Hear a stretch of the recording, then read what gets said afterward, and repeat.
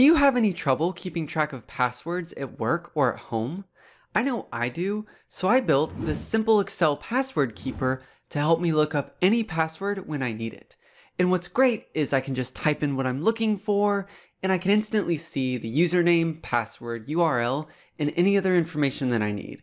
It saves me a ton of time and I don't have to memorize all my passwords. That said, I made this video to show you how to build the whole thing in Excel all the way from scratch. And if you don't want to spend the time building it, you can just use the link in the description to buy it for $4.95. And well, I think that's it for the introduction, so let's get to it. So the first thing you want to do is set up the structure of your worksheet. Start by clicking here to select all of the cells, then right click, select column width, change the size to 30, and click OK. Next, right-click on the row headings, select row height, change the height to 20, and press OK.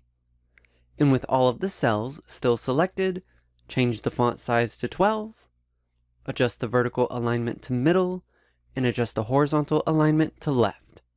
Awesome. Go ahead and select column A and adjust the column width to 5. Then select row 1 and adjust the row height to 35. Then add in a dark blue fill color or color of your choice. Change the font color to white. Increase the font size to 18 and bold the text. You can then select cell B1 and type in the title of database. That looks good. So next, let's turn the grid lines off by going to View, and uncheck the box next to grid lines. Finally, double-click on the Sheet tab at the bottom and change the name to Database. This completes the structure of our first worksheet, so for our second worksheet, let's copy this one by right-clicking on the Sheet tab, select Move or Copy, check Create a Copy, and click OK. Now, change the name of the second worksheet to Lookup. And up at the top, change the value in cell B2 to also say lookup. Great.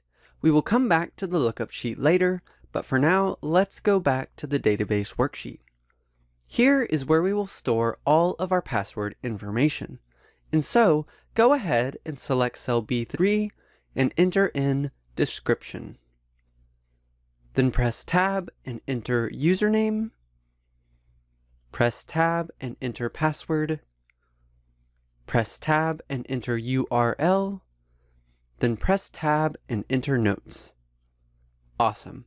Let's now create the table that will store all of the information. Do this by selecting the range B3 through F7, then go to Insert, Table. Check the box next to My Table Has Headers, and click OK. Now the first thing that we want to do now that we have our table is give it a name. So select a cell in the table, click on the Table Design tab, and enter in a name like Database. Now let's style the table. Click on the down arrow here in the Table Styles group and select New Table Style. Give your style a name, then select the whole table element and click on Format. Under the Border tab, select this light gray for the color, and then use the outline and inside buttons to apply the border. You can then click on OK. Select the header row element next and click on Format. Under the Fill tab, select a light blue fill color or a color of your choice. Then, under the Font tab, change the font style to bold and click OK. That completes the table style, so click on OK again. Now, apply the style by clicking on the down arrow here and select your custom style to apply it. And the table looks good. Next, place your cursor just above the description column until you see this small down arrow. Then click to select the entire column. And with these cells selected, click in the name box here and type in the name description list and press enter. This creates a range name that we will use in just a little bit. For now, you can go ahead and add in a little data before we move on. And once you've got some data in there, you can go ahead and navigate over to the lookup page. Now the first thing that we will do here is set up the formatting to make the page easy to see and work with. That said, start by selecting column B, then hold the control key to also select columns E and H.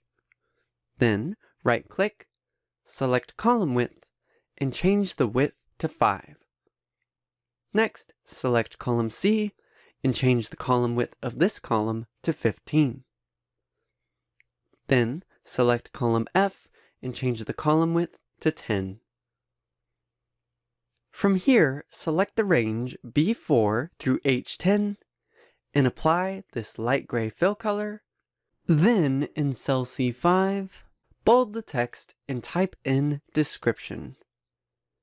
Next, select cell C7, bold the text, and type in username. Then in C9, bold the text and type in password. Then in F7, bold the text and type in URL. And in F9, bold the text and type in notes. Okie dokie, go ahead and select row 8, right click, and change the row height to 10. Now we need to identify the spaces for the results. So select cell D5 and apply this light blue fill color or a color of your choice. And next, select cell D7, then hold the control key and select D9, G7, and G9. Then remove the fill color from these cells. While we're at it, let's add in some borders. Click the down arrow next to the Borders button and select More Borders. Select this light gray for the border, and click the Outline button to apply the borders on the outside. Then click OK. Now select cell D5, click the down arrow here, and select More Borders. Pick a light blue like this for the color, and apply the borders on the outside, and click OK.